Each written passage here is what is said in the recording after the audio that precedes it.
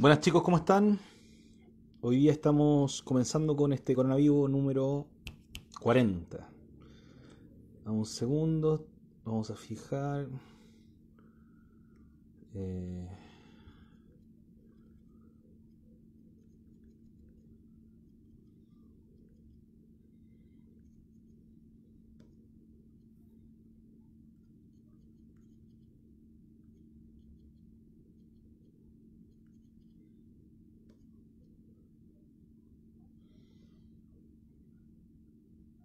¿Cómo están ahora sí?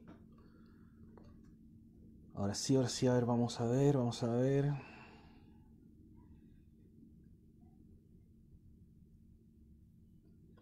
Francisco Donoso, sea bienvenido. ¿Cómo está? Estamos comenzando este coronavirus de hoy. Dame un segundo, vamos a dejar esto acá. Ahí sí. Trapi Colectivo, Francisco Donoso.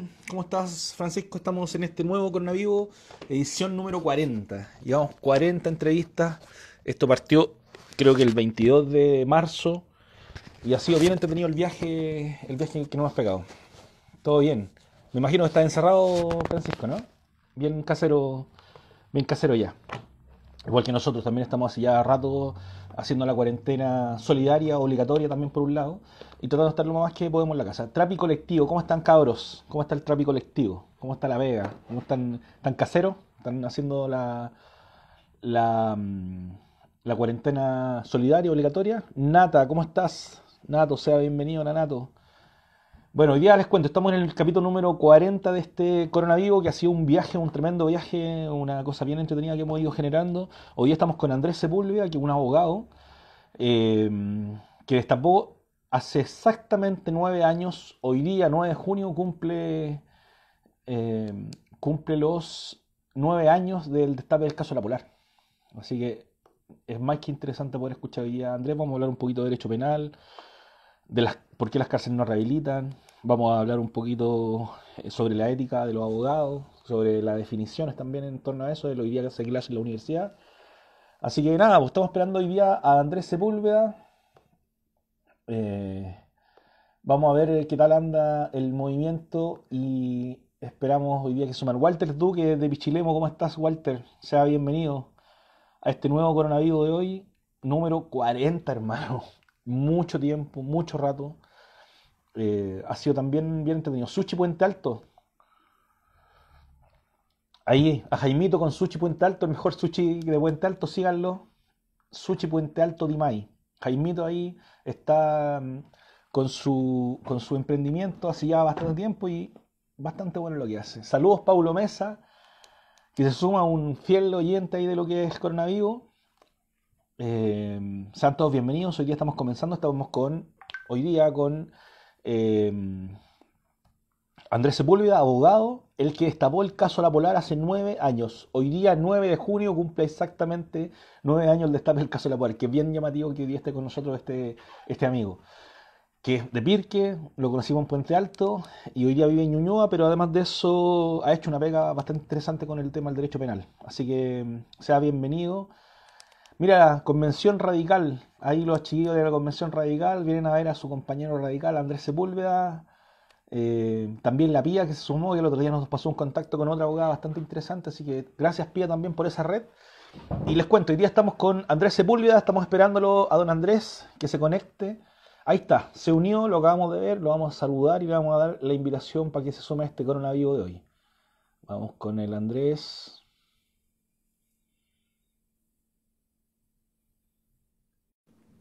Ahora, don Francisco, lo vamos a ver a Andrés Sepúlveda. Ahí está. Don Francisco, con usted podríamos hacer algún contacto de amigo, de amigo conocido, tal vez algún político para poderlo traer a, Puente- a- a la red de coronavirus. Tal vez podemos hablar ahí por interno, hacer alguna gestión. Estamos esperando a Andrés Sepúlveda, abogado que hace nueve años destapó el caso de La Polar. Hoy vamos a hablar un poquito sobre lo que está, lo que está haciendo él y además de eso sobre la impunidad en el, en el derecho público y en los delitos de cuello y corbata principalmente. Cómo se cruza con la ética, eh, no, todo este proceso que él es experto hoy día porque hace clases en la universidad, pero además de eso ha seguido su línea, su línea de desarrollo en la abogacía, vaya, pues para ese lado. Andrés, te envié la solicitud, tienes que aceptarla. Estamos esperando a Andrés Sepúlveda. Les cuento, este es el coronavirus número 40. eh, número 40. Llevamos ya dos meses y medio, casi tres meses haciendo el programa. Ha sido también un descubrimiento, un tremendo viaje. Y hemos tenido a insignes invitados desde el mundo del, hip hop, desde el mundo del rap, eh, hasta, no sé, por ejemplo, estuvimos con Alejandra Matus. Ahí está Andrés de nuevo que hoy día está muy en boga que, que, lo, que las, eh, las mediciones del gobierno se tuvieron que cambiar a raíz de la información que ella estaba dando. ¡Aló! Andrés Sepúlveda. Espérate, ¿eh? no veo mi video. ¿O no? ¿Me ves tú? Yo te veo perfectamente, veo tus mariposas que están atrás tuyo. Sí. ¿Tú me ves ah, o me ves? Sí, no.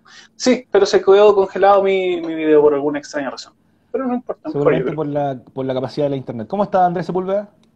Bien, bien, acá con un poco de frío, hoy día estuvo, estuvo bien fresco.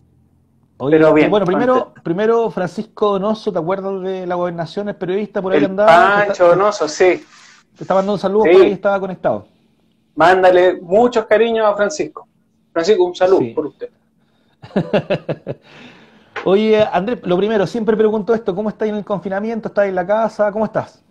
Bien, estoy... Trato de tirarme para arriba, ¿eh? estoy... igual que yo creo que la gran mayoría de las personas estoy un poco paranoico, asustadizo, salgo muy poco de la casa y cuando salgo me pongo el traje de astronauta, eh, la mascarilla, la máscara, em, preocupado básicamente, preocupado. Yo, yo fui papá hace poco, hace unos meses atrás, entonces no quiero que el bicho llegue, mis papás también ya, eh, mi papá que, tiene más de 70 años, entonces población de riesgo, así que preocupado. Acá en la casa haciendo de todo, dueño de casa, lavandero, cocinero, profesor, además de abogado. O sea, tengo dos niños que dan harto trabajo y, sin ayuda se, se, nota mucho, se nota mucho que es cansador, súper agotador. Pero bien, contento. Oye Andrés, hoy día 9 de junio, por una extraña razón, es el programa número 40 y además de eso, hace nueve años se destapó el caso La Polar gracias a una investigación tuya. Así es, nueve años, exacto. el 9 de junio del 2011. Ahí estalló el caso La Polar. Bueno, yo alguna vez lo conversé contigo, si nos puede hacer un pequeño resumen de cómo fue ese proceso. Yo recuerdo que algún conocido amigo tuyo te manda a hacer una pequeña eh, a preguntarte algunos datos y de ahí empieza a caer la investigación. Cuéntanos a, grandes rasgos cómo fue eso. A grandes rasgos fue tal cual como tú lo dices, una, un, conocido nuestro, en, mío y de mi señora, en, en, contexto de una reunión social, un, asadito, eh, empezamos a preguntarnos de la nada que, a qué nos dedicábamos cada uno y, y él me decía que uno de los giros que tenía era hacer inversiones en bolsa.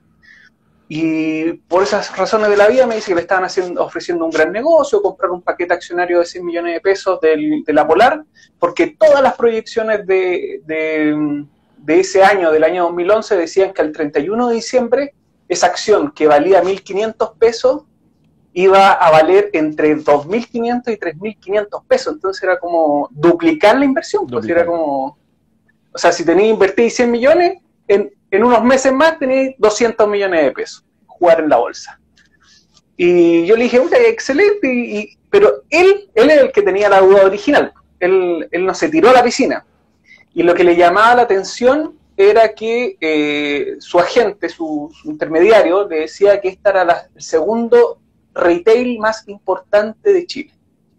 Más grande que Almacenes París, y Almacenes París tenía supermercados, ferretería, tenía banco, agencia de viaje, agencia de novios, eh, tiene un negocio inmobiliario gigantesco y la Polar lo único que hacía era el negocio River, vender blue jeans, vender camisas, entonces, eh, y obviamente los estratos sociales que apunta a su clientela no es la misma.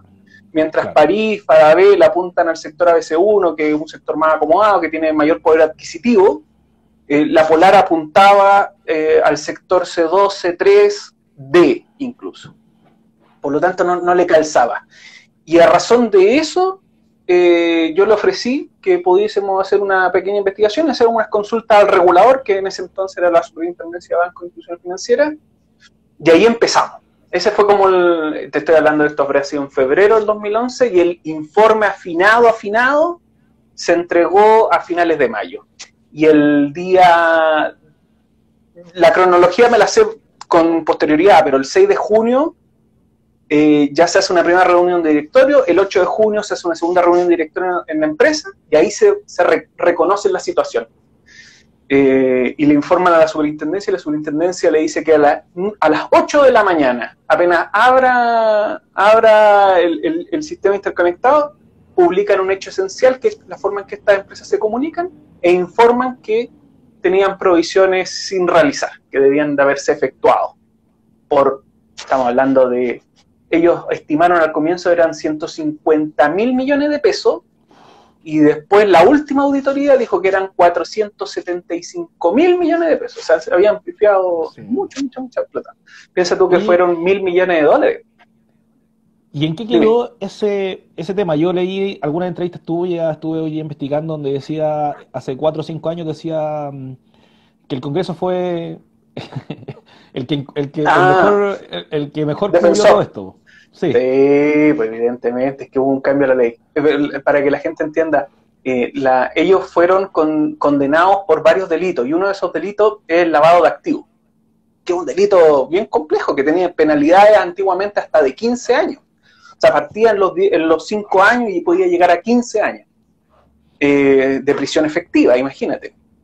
Porque pasados los 5 años los beneficios son muy, muy pocos los que hay. Y el Congreso, estamos hablando que esto ocurrió en 2014, ellos han sido, los gerentes fueron los únicos que han sido imputados por delitos de lavado de activos derivados de delitos financieros, de delitos eh, que se producen en el contexto de una compañía. Hay otros, otras condenas de lavado de activos por narcotráfico, qué sé yo, pero no. Perfecto. La única que existe por delitos financieros son este, este caso.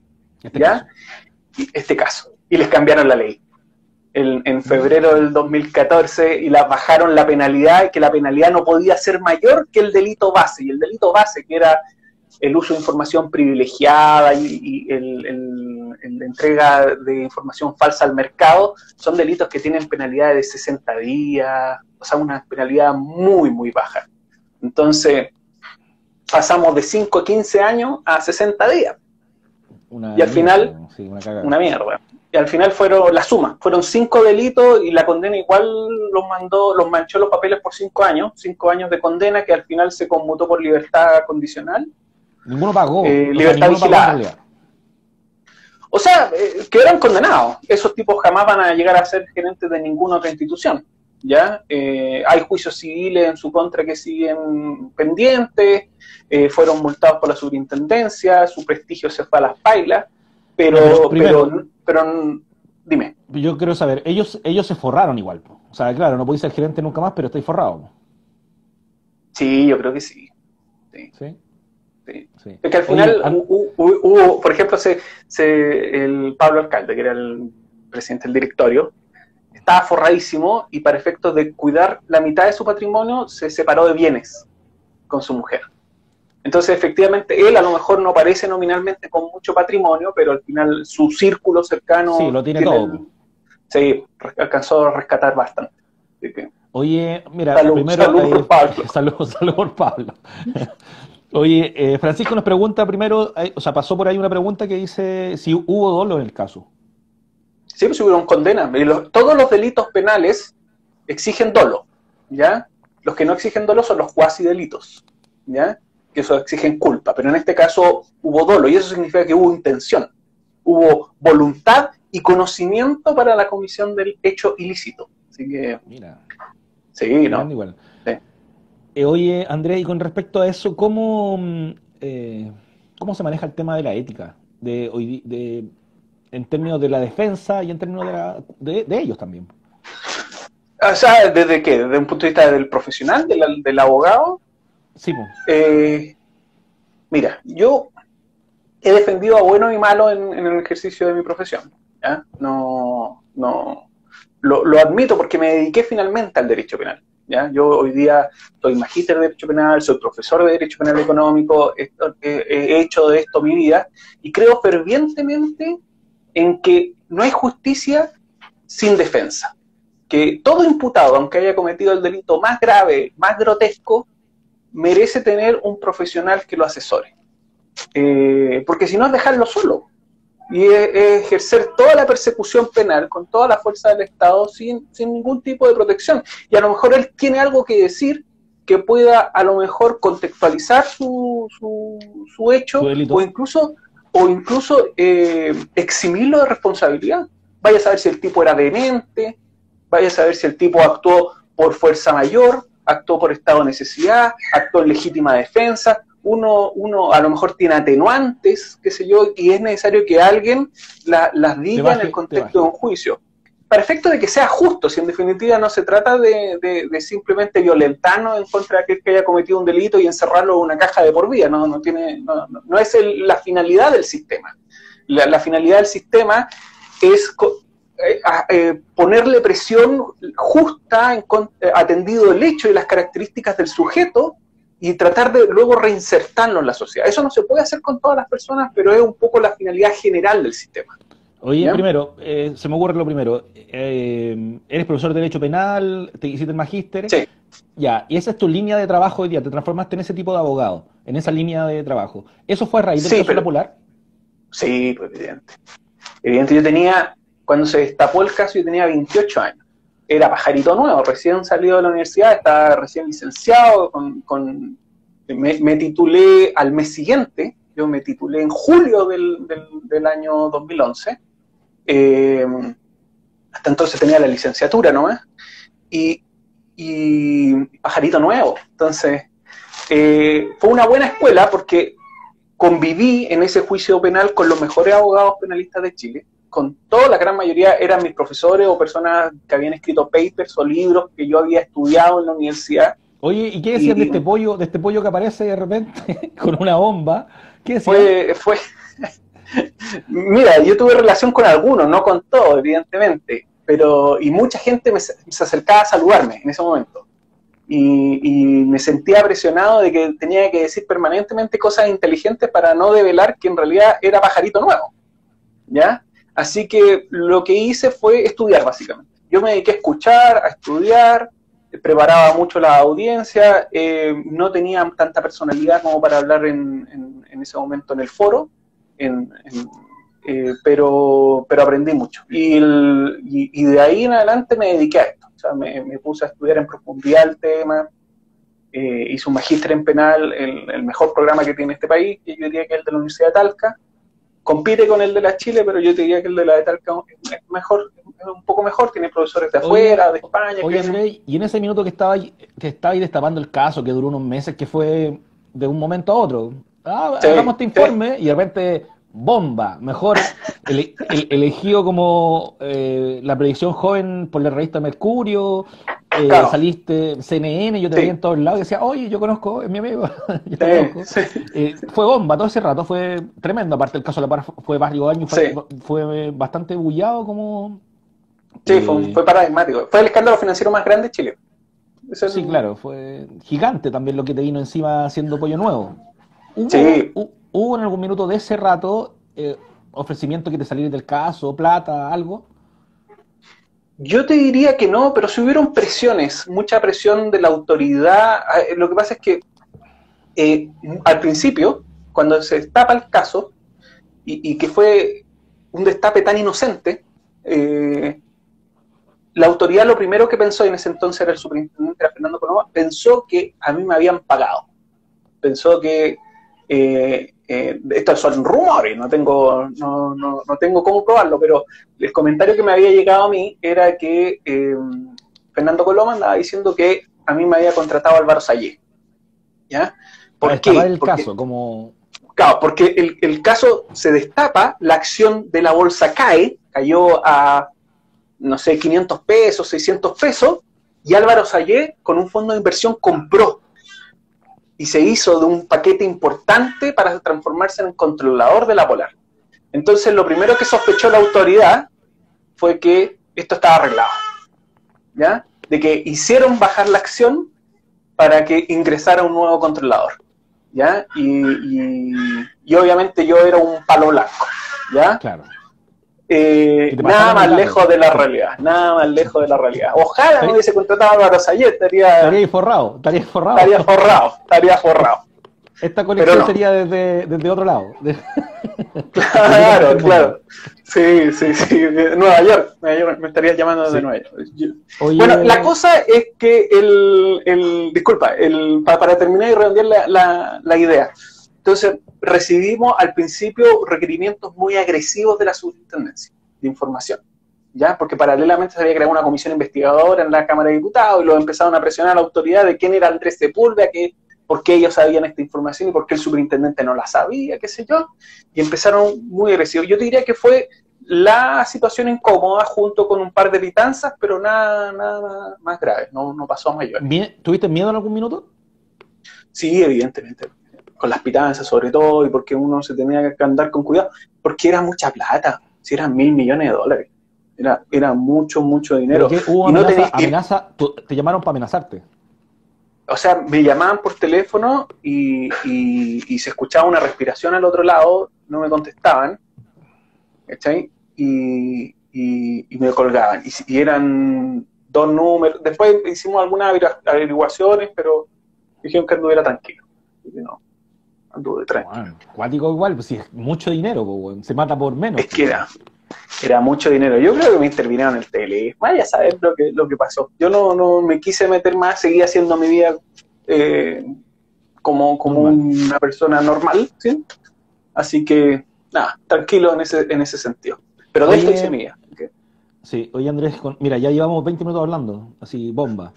Eh, quería preguntarte por, claro, me dijiste que has defendido a buenos y malos.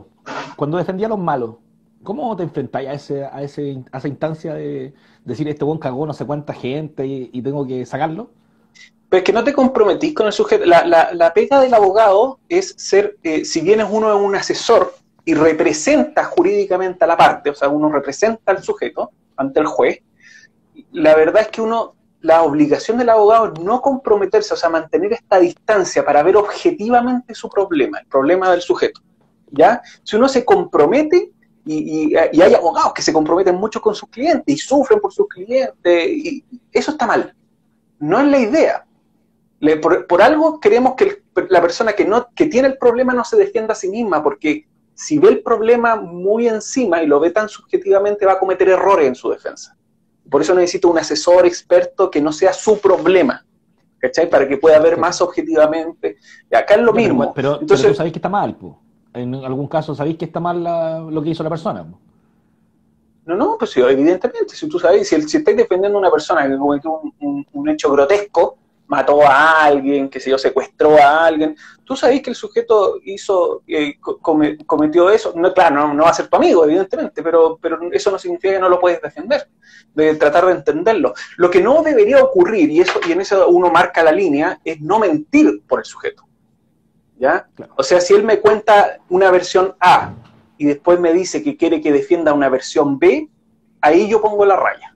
Digo, no, si tú me dijiste que era A, era A y no vamos a variar de eso y vamos a hacer la mejor defensa con la versión A. Si tú quieres que yo vaya a mentir por ti, eso es diferente y ahí tienes que contratar a otro abogado. ¿Ya? Porque no es la idea, porque uno no puede ejercer la mejor defensa también mintiéndole al tribunal. Uno también es un auxiliar de la justicia y, tiene que colaborar con ella, ¿ya? Y, y, en ese sentido uno, uno tiene que tener un estándar ético mínimo, ¿ya? Hay, hay abogados que no lo tienen, derechamente, que, que si tienen que mentir, van y mienten, qué sé yo, pero ocurre en todas las profesiones, así como hay buenos abogados, hay malos abogados claro, pero, igual, igual me, me, confunde igual un poquito. Oye. ¿Pero qué es lo que te eh, confunde? ¿Que, que, no, podemos defender a una persona que cometió algo grotesco? No, no, no, no, digo que no, lo digo que, no digo que no se pueda defender. Me parece un poco complejo en términos éticos. O sea, yo no podría hacerlo, tal vez, vincularme a alguien que hizo algo malo o terrible y tener que sacarlo, no sé, de la cárcel a un X, X persona buscando algún resquicio legal. Por ejemplo, lo que hace eh, la abogada esta abogada de Lobos ah. pues, Sí, es que buscando resquicio no tiene sentido. El, igual es pegar el abogado a hacer ver todas las cuestiones que le puedan favorecer a su cliente. Eso no, hay, nada de malo. ¿ya? Yo tenía un par de casos, sobre todo los casos de que, que, que, que, tienen que ver con em, los abusos sexuales, que son lejos los que a mí, en lo personal, más me han complicado, ¿ya? Cuando he ejercido la defensa, ¿ya? Eh, son casos que, porque para mí me resulta muy repulsivo el acto mismo, ¿ya? Eh, las veces que lo he hecho, lo he hecho porque me, me, lo han pedido y no tiene otra opción de defensa al sujeto. Pero, por ejemplo, esa línea de trabajo yo no la hago por decisión propia, así como tampoco ejerzo defensa en casos de narcotráfico. ¿Ya? Uno tiene que al final ir ajustándose a lo que más se siente cómodo, ¿ya? Eh, y, y, tampoco uno puede suponer que puede ganar todos los juicios. No, no, eso es ridículo, no, no ocurre, ¿ya? Eh, y no va a defender siempre a los buenos, porque en toda historia hay dos versiones también. O a veces hay tres o cuatro o cinco versiones, dependiendo del tamaño de la historia. Depende de que la cuente, depende el, Y depende de que la cuente. No, si es verdad, si a veces Carabinero llega con una versión, la PDI llega con otro, la película La Defensa es otra, la Fiscalía tiene otra idea de lo que ocurrió, los testigos, cada uno tiene su propia historia, y al final queda una mazamorra. A mí la pega que debe ser ingrata es ser juez, porque el, el que ser juez eh, te obliga a comprometerte con alguna de esas versiones. ¿Ya? Y creerle alguna de las partes. Exacto, y debe ser terrible decir, bueno, yo tengo varios amigos jueces y les pregunto, y, lo que veo en ellos es profesionalismo, o sea, no se comprometen mucho con, con, el problema, no se ponen en los zapatos de la víctima para juzgar, porque no es su pega, ¿ya? Velo así, si nosotros le pidiéramos a la víctima de un delito que juzgara su propio crimen, el crimen del cual fue víctima, probablemente las cárceles estarían llenas de gente y por mucho tiempo y probablemente de mucho también de gente inocente, ¿ya? O que gente que cometiendo el delito no era imputable, ¿ya?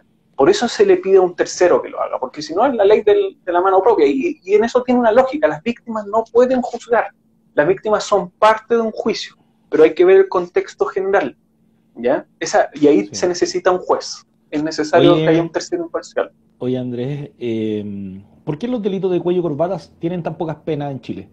Eh, gracias a, la leyes, a las leyes, se ha ido bajando, porque usualmente lo que vemos es que, claro, es más fácil robar, robar, eh, digo, como en el caso de la Polar, como en ese tipo de casos, que hace que cometer, que, robarte la gallina, pues siempre el mismo cuento, pues, como no sé cuántos años te dan por la gallina, pero, pero robarte mil millones de pesos. Abigato.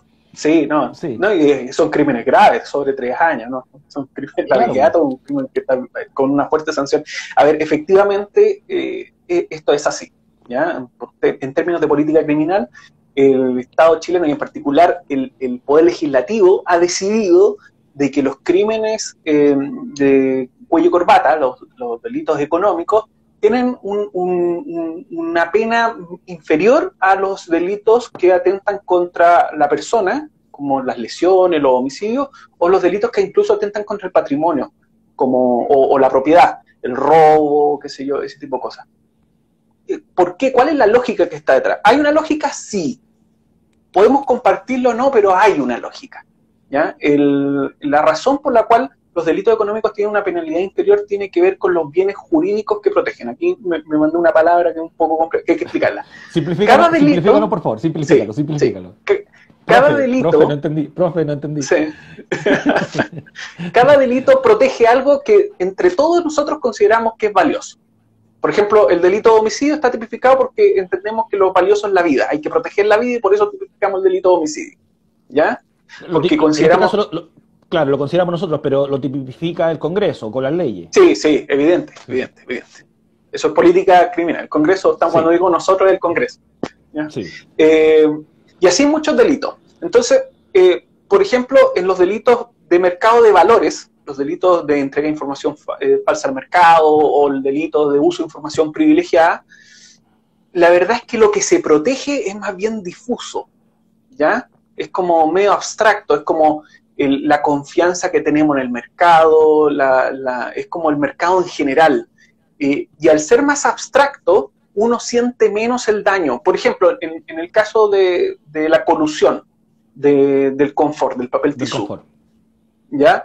Eh, es verdad, a cada chileno le quitaron 7 mil pesos aproximadamente, obviamente fue mucho más, pero, pero en realidad es difícil determinarlo y a nadie le dolió, nadie, nadie pagó de más pensando que le habían robado algo. De hecho, ni siquiera se dieron cuenta que le habían robado. Porque había colusión, porque había colusión y porque es difuso. ¿Ya? Sí, por lo porque, tanto. Porque son 100 pesos mensuales, pues no sé. Por exacto. Años, Es tan poquito que no te hace, no, no, te percatas del daño que te está haciendo. Y como el daño, tú no te percatas que, eh, que el daño está empezando a ocurrir, se entiende que el disvalor es menor. ¿Ya? esto puede cambiar de la noche a la mañana, si basta que en el Congreso se pongan de acuerdo de que ahora los, bienes jurídicos difusos o colectivos o abstractos merecen una pena mayor, exacto. Al final es una cuestión de decisión de política de, política criminal que se desarrolla en lo que en el Congreso estima que es más valioso o menos valioso en, ciertos contextos eh, sociales, ¿ya? Eh, por ejemplo, hoy en día tenemos... Dime. No, es que pensando en, sigo pensando en el tema de, de eh, estos cuellos de delito de, de, cuello corbata, en cierto modo, estos, delitos graves, que no tienen grandes eh, sanciones o penas. ¿Por qué en Chile sigue siendo por lo mismo que los que tienen más dinero, los que tienen más dinero van menos a la cárcel que los que tienen menos dinero? Es que a la larga se produce el efecto de que las, al ser penas bajas, siempre gozan de beneficios, ¿ya? y al gozar de beneficios, la mayoría de las penas se cumplen en libertad o se acceden a suspensiones condicionales de procedimiento. Y además son delitos complejos, son delitos de mucha información, en que, por ejemplo, un robo basta con un video y captar bien la imagen del delincuente para tener toda la prueba que se necesita para condenar a un sujeto. Culpar a la persona. exacto. Pero en un delito económico, a veces es tan complejo, a veces se utilizan tantos actos jurídicos que son válidos y que eh, eh, visto solamente en cierto contexto es un hecho ilícito que complejiza mucho más. Entonces las fiscalías, ¿qué es lo que hacen? La fiscalía, en vez de meterse de fondo en el tema, tener que procesar un montón de información para obtener una pena de este porte, en realidad lo que van generando, hay mucho incentivo para conceder eh, beneficios, para conceder salidas alternativas, para, lograr un acuerdo eh, vía juicio, juicio abreviado, en el cual nos ponemos de acuerdo, es una transacción con respecto a la pena que va a tener el hecho. Hay, eh, y significaría un desgaste muy importante para el Estado llevar esto a juicio para obtener una condena tan pequeña. Y ahí tenemos un problema. ¿Ya? por un problema de cómo está organizado. Por, eso, por, eso, queremos buscar ese tipo de delitos, en cierto modo. Por eso tanta gente lo busca, digo, las piramidales, toda esta cosa. Y obviamente y obviamente como son delitos que los pueden cometer solamente ciertas personas que están en, una posición de poder, una, que representan a grandes compañías, lo que uno percibe es que hay una justicia para los ricos y una justicia para los pobres. Es algo que advirtieron ya a mediados del siglo XX un, sociólogo que se llama Edwin Sutherland, que escribió el, primer libro que se llama White, Crime, eh, eh, White Collar Crime, eh, delito cuello corbata, fue el que acuñó el concepto. Y, él de, lo que hizo fue un trabajo estadístico. Se fue a una cárcel, dijo ya, eh, las personas que pertenecen al 10% más rico de este país, ya, ¿dónde están? Ya, había un universo X de personas. Ya, ¿usted por qué delito eh, entró a esta cárcel, papá? hizo un trabajo estadístico. Y se dio cuenta que las personas de clases más bajas cometían delitos violentos en mayor volumen y que las personas de clase alta cometían delitos eh, económicos y no violentos.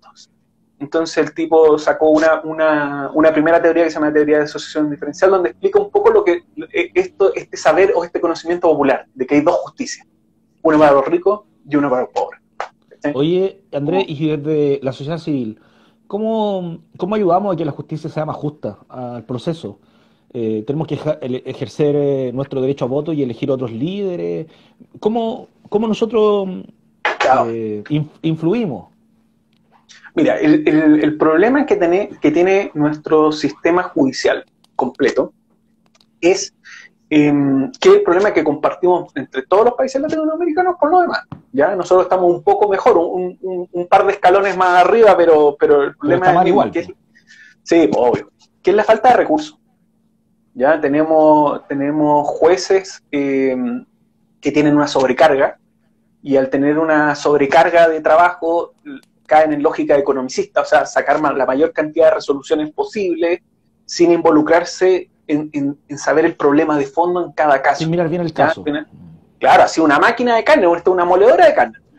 ¿Cachai? Lo mismo, las policías están, tienen, tienen, tienen muy bajos sueldos, por ejemplo, algo tan simple como eso, pero que produce un enorme impacto, porque cuando tienes carabineros que ganan 500 lucas, eh, son mucho más permeables o susceptibles a la corrupción, lo mismo que las policías de investigación. Entonces hay que hacer un esfuerzo ahí eh, de, ir subiendo eso, esas remuneraciones, a lo mejor no tener ese sistema de, seguridad social tan, tan elevado al resto de los chilenos, pero, pero empujar. Y es un problema que probablemente se va a solucionar cuando mejore la tecnología. O sea, si cuando, por eso al Poder Judicial le han inyectado tanto recurso ahí, en, hacer plataformas digitales, informáticas, porque en definitiva es lo que realmente genera un mejor acceso a la justicia.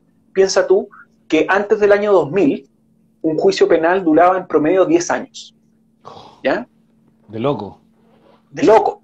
Hoy día duran dos años. ¿Ya? Entonces, igual, ha mejorado.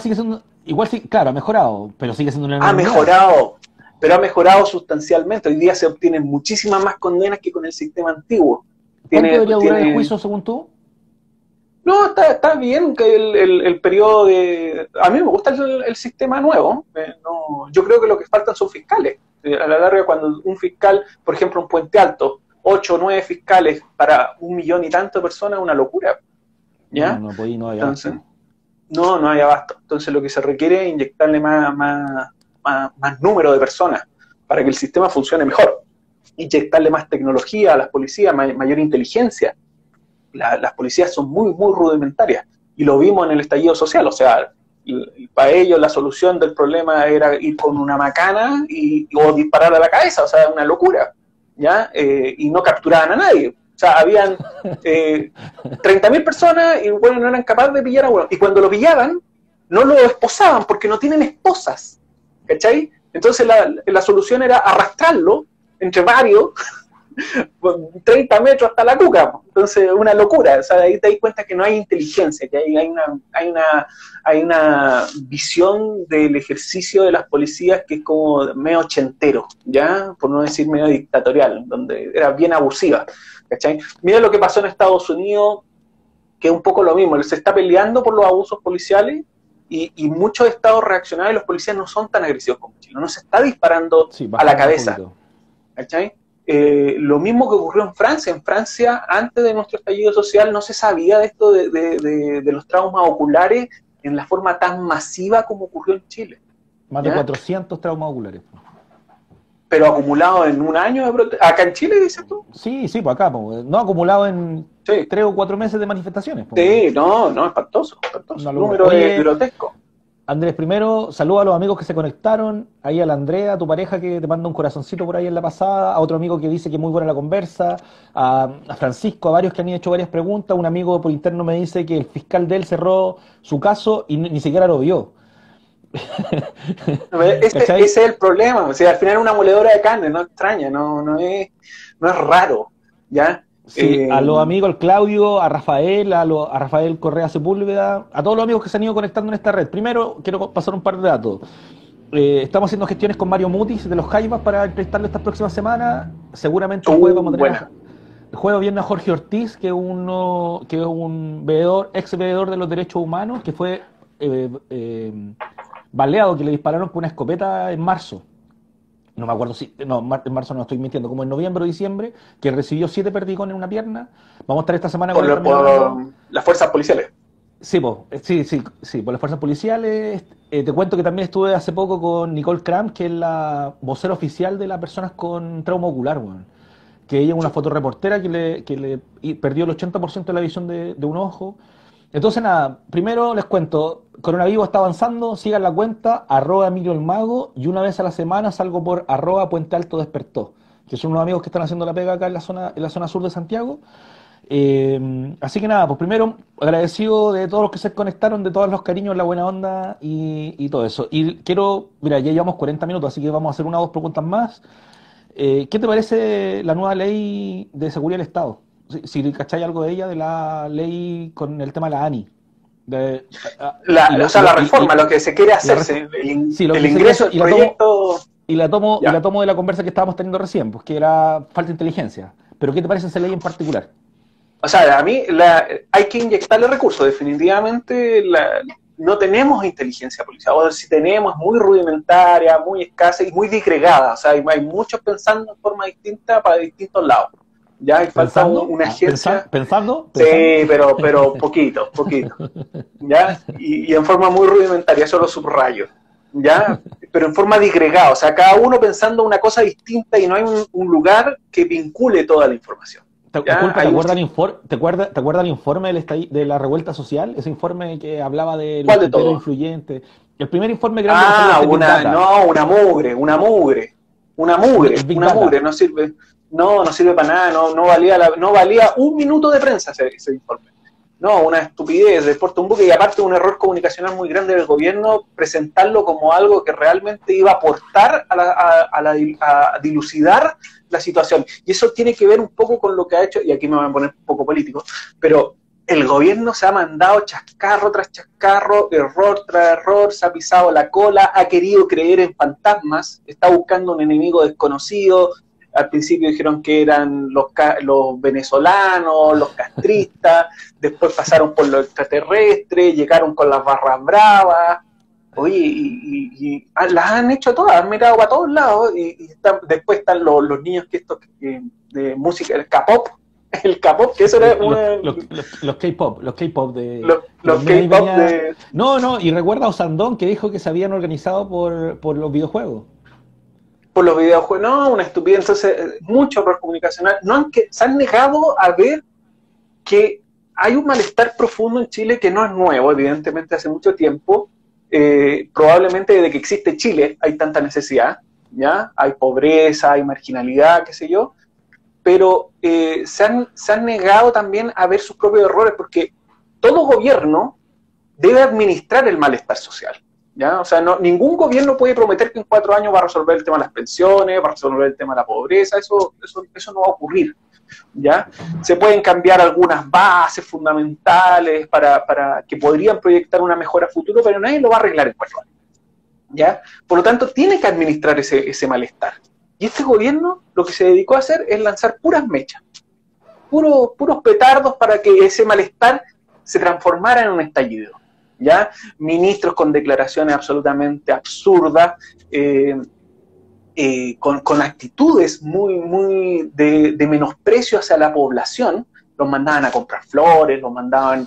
Eh, claro, además friccionaban mucho la posición, piensa tú que una ministra trató de narcotraficante al Partido Socialista, y, y, no le pasó nada. La Marcela Cubillo eh, militarizó como nunca antes había ocurrido el Instituto Nacional.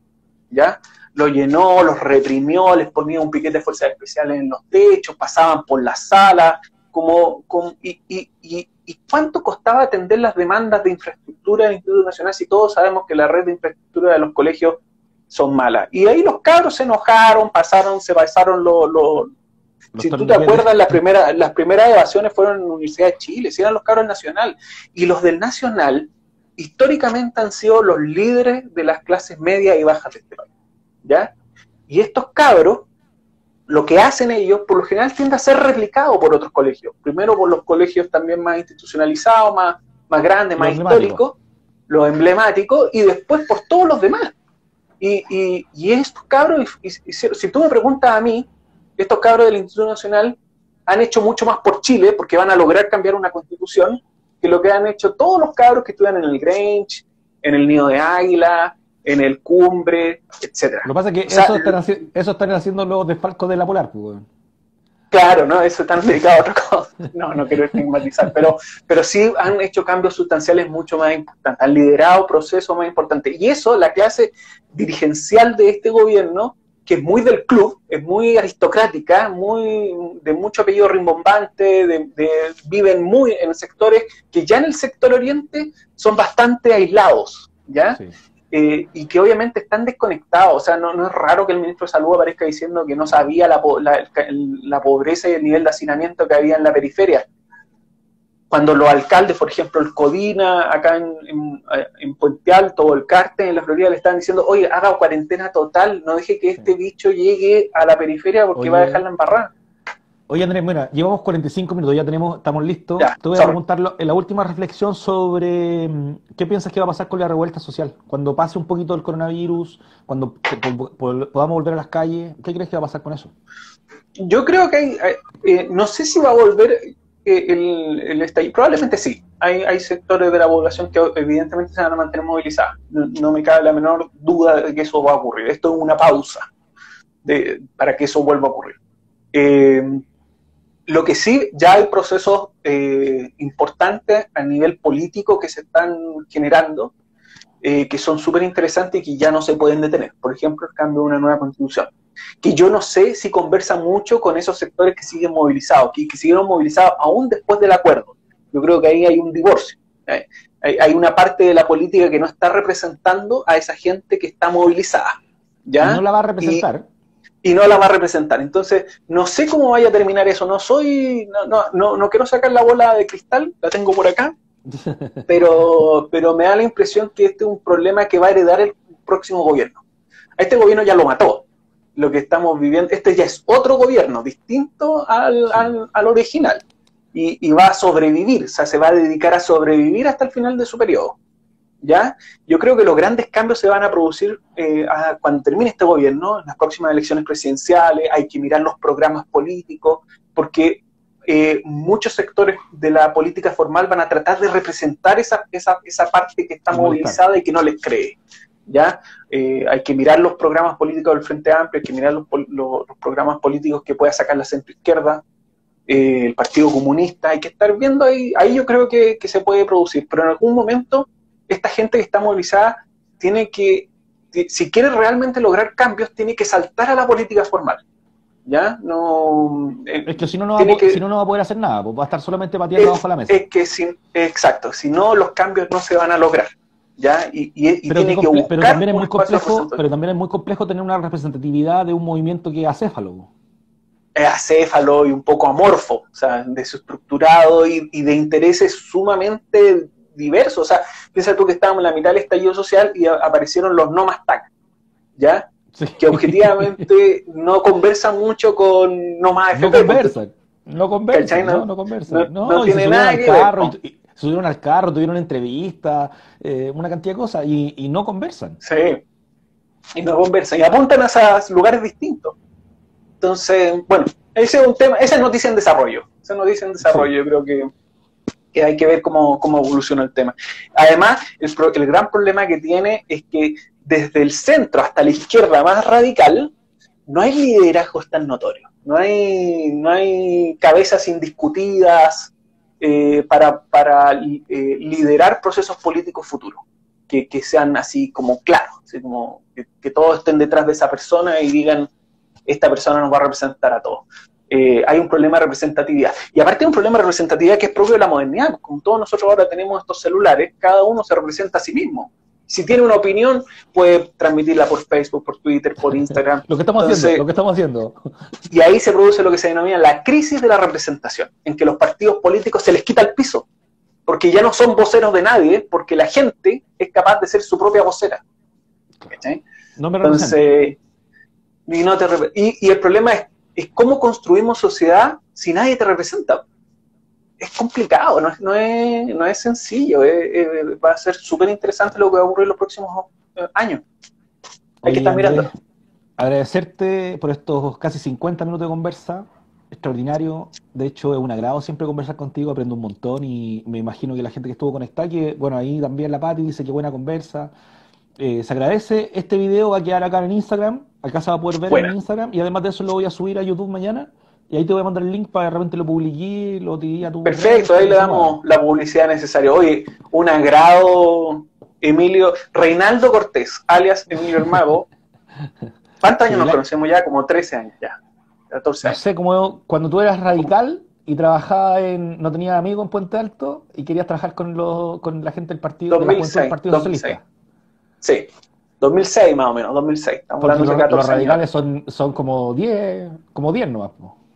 Sí, no, está, habemos, habemos. Lo que pasa es que no, no somos muy activos. Lamentablemente ahí algo nos pasa en nuestra, nuestra clase dirigencial. Ahí vamos, tenemos una discusión interna. Pero, pero sí, fue un, oye, un placer. Cuando quieras invitarme, yo estoy muy llano a volver. Así que cariño, saludo a todos y que se repita la conversación. Ya pues, Andrés, te pasaste súper buena conversa en nuestro programa número 40 de Coronavivo. Sigan a arroba Emilio el Mago en Instagram, en Facebook y tu nueve, hoy día felicidades por los nueve años de destapar el caso La Polar. Sí, salud. Salud. salud, Andrés. Bueno, hasta luego, Andrés. Muchas gracias. Saludos ahí a la Andrea, que estén bien. Nos vemos. Tu nombre, cuídate. Cariño, chao, chao. Vale, chao. Hemos terminado el coronavirus de hoy. Muchas gracias a todos los que se sumaron, Andrea, eh, Walter, a la Pati, al Paulo, a los chiquillos de los radicales también que estuvieron por ahí. Gracias por estar en la conversa. Eh, súmense a las redes. Estamos transmitiendo los coronavirus durante toda la semana. Estamos sacando uno, dos, tres a la semana. Y sean todos bienvenidos a la red, pues así que puede ser acá en arroba, arroba Emilio el Mago o en arroba Puente Alto Despertó. Así que los espero ahí en las redes. Gabo ahí, los amigos del Frente Fotográfico, del colectivo fotográfico, saludos también a los chicos que se han ido sumando, al Gabriel con Rimland Chile, que tiene la radio TXS Radio, parece, ¿sí? ¿Estoy bien? Así que nada, saludos a todos, muchas gracias. Terminamos el coronavirus de hoy. Espero les haya gustado. Replíquenlo, ayúdennos con los flyers. Todo eso bienvenido. Hasta luego.